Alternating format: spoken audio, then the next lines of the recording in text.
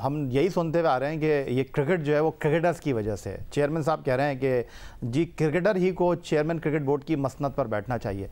लेकिन नदीम खान साहब आपके होते हुए हाई परफॉर्मेंस सेंटर में जो रवैया क्रिकेटर्स के साथ है, जो पाकिस्तान से खेले हैं वो भी एक सवाल उठा रहा है। अहमद शहजाद के हवाले से हमने सुना कि उनके बारे में एक आ गया कि, कि आपने एक क्राइटेरिया रखा है कि जो प्लेयर पाकिस्तान से दो साल के अंदर खेला है वो आकर एकेडमी में प्रैक्टिस कर सकता है।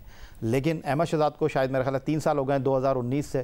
तो उनको क्या इजाज़त लेनी पड़ती है या वो नहीं आ सकते एकेडमी में? क्योंकि मोस्ट ऑफ़ द टाइम तो आपके मुख्तलिफ़ कैंप्स लगे हुए होते हैं या आ, कोई आपकी नेशनल टीम प्रैक्टिस कर रही होती है तो फिर अहमद शहजाद क्या करें? कहाँ जाके सीखें?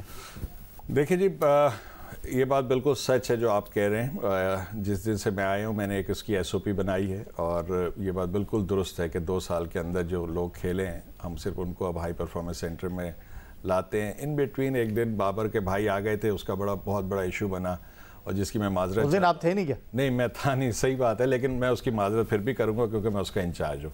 तो उसकी मैं माजरत करता हूँ लेकिन उसके अलावा आपको कोई इंसिडेंट इस दो साल के दरमियान कोई इंसिडेंट अगर कोई कोर्ट कर सकता है ज़रूर करें। नहीं तो फिर आपने क्या आपने क्या किसको अच्छा, सजा दी? आपने वो गेट वाले को बाहर किया या कैसे आपने आपने बोला छोड़ो यार। आपने इस बात का खुलासा तो किया कि बाबा के भाई प्रैक्टिस देखिए बात ये होती है कि एक स्ट्राइक दो स्ट्राइक और तीन स्ट्राइक मैं इस तरीके से मैनेजमेंट करता हूँ। मैं पहली गलती पे कभी किसी को निकालता नहीं हूँ तनबी करता हूँ। और अगर ये दोबारा गलती होगी तो फिर लेटर और तीसरी गलती पे बहुत मुश्किल बड़ा वाला लेटर मिल जाता है। तो वो अभी उसका मौका नहीं आए एक ज़ाहिर बात है बाबर तो वैसे सरदनिश किसकी की आपने?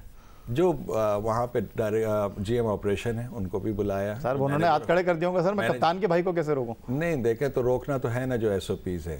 चाहे कप्तान का भाई हो जब अगर अहमद शहजाद को इजाज़त नहीं मिल रही तो कप्तान का भाई तो अभी फ़र्स्ट क्लास भी नहीं खेला है।